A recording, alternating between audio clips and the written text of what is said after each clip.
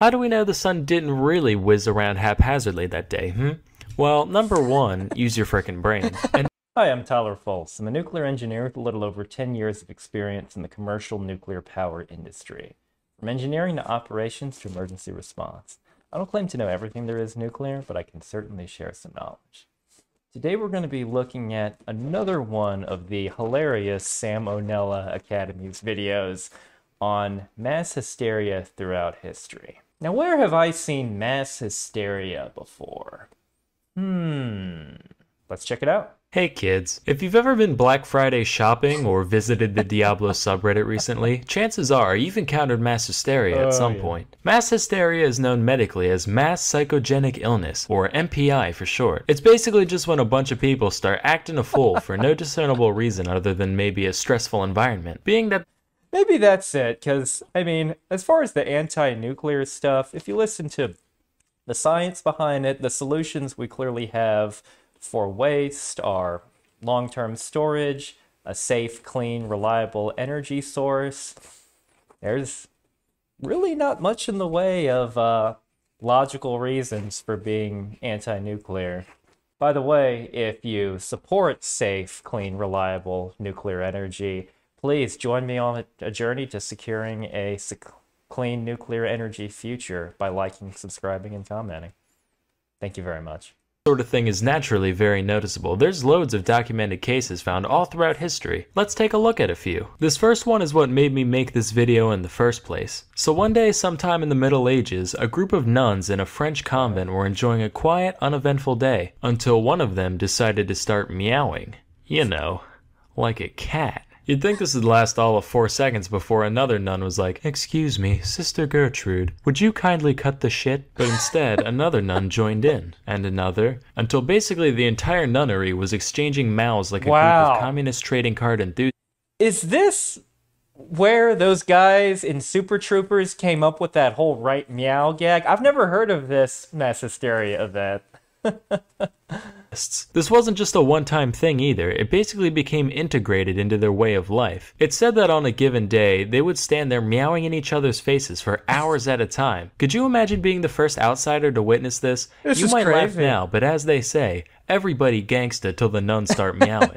I'd void my bowels and move to Malaysia without even thinking. Miles more terrifying than this pile of garbage. As you can imagine, though, after a while it stopped being scary and just got annoying, leading to the neighbors calling in a band of soldiers to deal with the situation. Hey guys, can we talk to you for a sec about uh Yeah, Yeah, That was scary. uh all due respect, but we have orders to literally beat the hell out of you with whips till you start acting like people again. Sorry, sir. It's just force of habit. Haha, habit. Seriously though, we would rather go to hell for throttling a gaggle of nuns than put up with another minute of your bullshit, caprese. Our next Wow. event took place in the parish of Fatima, Portugal in the year 1917. It all started with three shepherd children, ages 10, 9, and 7 respectively. That's uh, salamander juggling. okay, that's pretty good. They were like, Greetings, fellow Portugueseites. Uh, we've been seeing visions of the Virgin Mary, and she told us to tell you that some real crazy shit's gonna go down in the sky on October 13th. Now, if three random farm children started spouting out prophecies to the public today, you'd say, Ha, what tomfoolery. Go play in some dirt, you dirty little dirt baby. But keep in mind, the past is a different country. And Portugal's a different country. So that's like different country squared you gotta think about. Plus Makes this was during. World War One, a time where a lot of people were holding out for a miracle to begin with. So the kid's story was actually picked up and even spread by local newspapers, to the point where, when the day finally came, at least 30,000 people gathered in Fatima to witness the alleged miracle. Lo and behold, on that I love these little side annotations he's got here. They they make the video even funnier. Day, the sun began zooming around, Whoa. towards Earth and sending rays of multicolored light cascading across the sky, creating a light show like nobody's ever seen. Keep in mind, this happened in the 20th century, way after the era where belief in divine jiggery and or pokery was considered mandatory. So Jiggery naturally, there were plenty of skeptics and non-believers present, and even they saw it all happen. Or so they thought. How do we know the sun didn't really whiz around haphazardly that day, hmm?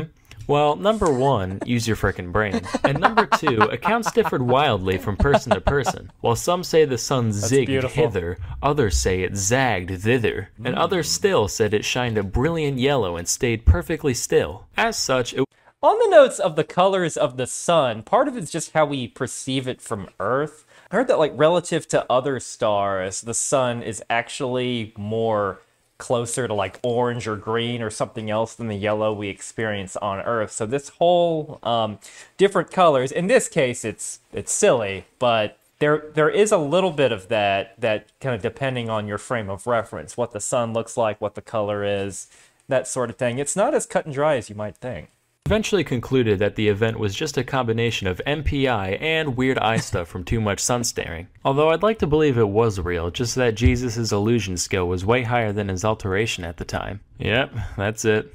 Sam's going to hell. Why, for blasphemy?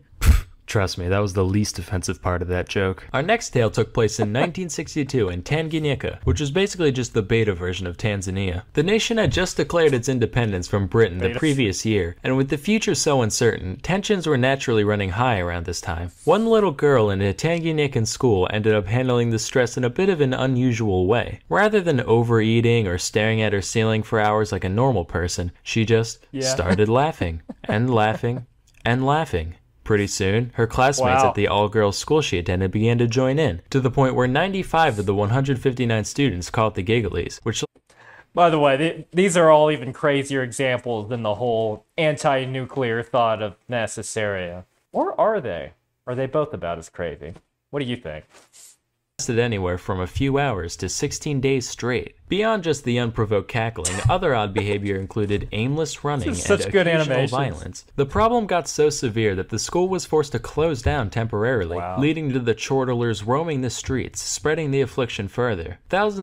I mean, it sounds funny, but this would also just be be terrifying. I know that one he did that little spooky thing with the nuns earlier, but yeah, um, it's one of those things that I'm sure it would be funny for like a few minutes, but then when you realize what's going on, it would be terrifying to experience some one of these events um, propping up of people from all strata came to be affected, with 13 additional schools being shut down in the progress. Over the course of the hysteria, several other symptoms began to present themselves as well, ranging from obvious ones such as breathing problems, fainting, random screaming, to more anomalous things like rashes. Despite all this, really? no physical cause could be wow. found, leaving MPI as the only explanation. The epidemic finally died down. I mean, on that note, I mean, if it's a, a mental thing, mental illnesses can manifest physically. So rash, um, other physical symptoms like digestive systems, irritable bowels. So yeah, I can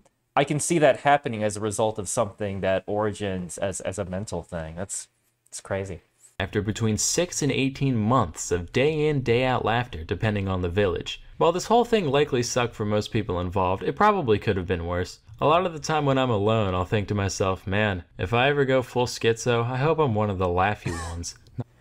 I had one instance of a visitor to a nuclear plant, not my nuclear plant, but this was discussed amongst of someone it, that went into a radiological controlled area now, that just means it's controlled. You go in there, you're not necessarily going to be exposed to um, dangerous levels of radiation or even any le- levels of radiation, depending on where you go, but it's controlled, so you're required to have a brief with uh, radiation protection technicians prior to entry.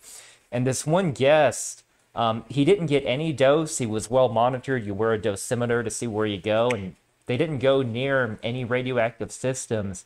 And he had this crazy psychosomatic reaction that he was getting sick, like stomach illness, based because he went into what is considered a radiation area, even though he did not receive any dose. And I wonder if there's so there's there's definitely some of this stuff going on, and that that rash example that he mentioned earlier is is not surprising to me. That um, various fears, uh, mental things can cause uh, physical responses. It's it really is fascinating. Kind of like in the Matrix, where they say your mind makes it real. One of the screamy ones.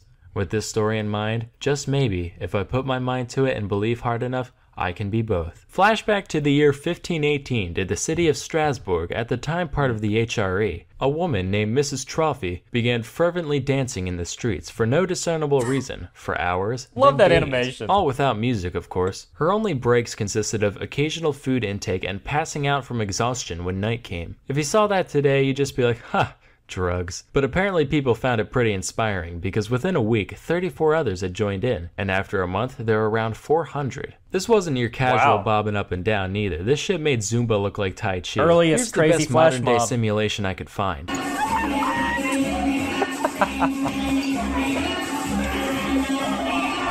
Now imagine that oh, both of those people Oh, were the man. same person and you got the dancing plague. This would take a toll on any healthy person, let alone a medieval city dweller. But despite bleeding feet and aching bones, they just kept My going. goodness. In fact, they went so hard for so long that a good portion straight up fucking died from cardiac arrest. It got to the point where around Oh. 15 dancers were kicking the bucket every day before the city decided they had to do something about it. They managed to rule out any divine or supernatural causes, which was necessary just because, you know, back in medieval times, it was fucking stupid. They eventually surmised that it was a natural disease caused by too much hot blood, as per that whole Hot four humors thing that was popular at the time. As for a cure, their prescription was get this, more dancing. I can see where they were coming from. It's pretty sound logic. I'm surprised it wasn't bloodletting using leeches. Wasn't that a thing? Your your blood, your humor's not in order back then?